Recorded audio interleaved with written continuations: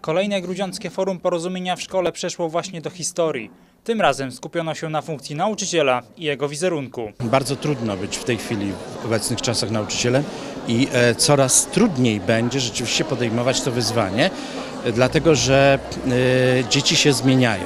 One nie są gorsze, ale są zdecydowanie inne. Forum zorganizowane zostało już po raz siódmy. Każde tego typu spotkanie dotyka innego problemu związanego z edukacją i poziomem kształcenia. Wszystko przekłada się na znalezienie takiego porozumienia pomiędzy tymi podmiotami najważniejszymi, czyli jeszcze raz powtórzę, uczniami, rodzicami i nauczycielami, po to, żeby e, przełożyło się to na mm, coraz lepszą sytuację wychowawczą w szkole. Poza tym forum ma również albo i przede wszystkim pomóc wszystkim pedagogom w szkolnej codzienności. Nauczyciel musi się odnajdować w najróżniejszych sytuacjach.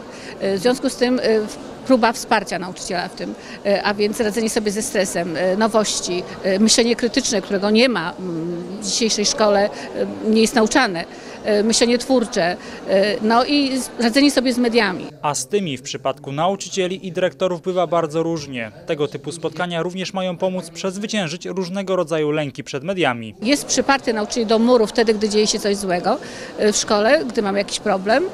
Przychodzą media, stawiają pod ścianą, wszyscy się boimy takich oklejonych taśm naokoło szkoły, jak sobie wtedy poradzić.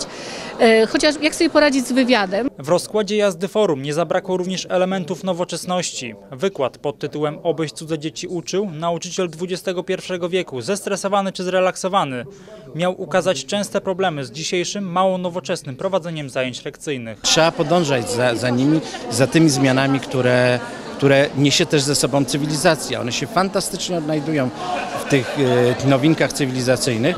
Natomiast e, jeśli mamy do czynienia z, nauczycielem ze starszym stażem, to tu jest może jakaś e, przeszkoda. Spotkanie, które odbyło się w auli zamiejscowego ośrodka dydaktycznego UMK w Grudziądzu miało charakter otwarty, a to oznaczało, że udział w nim mógł wziąć każdy, komu bliska jest tematyka oświaty i kształcenia. Za każdym razem zapraszamy bardzo szerokie grono osób, łącznie z rodzicami.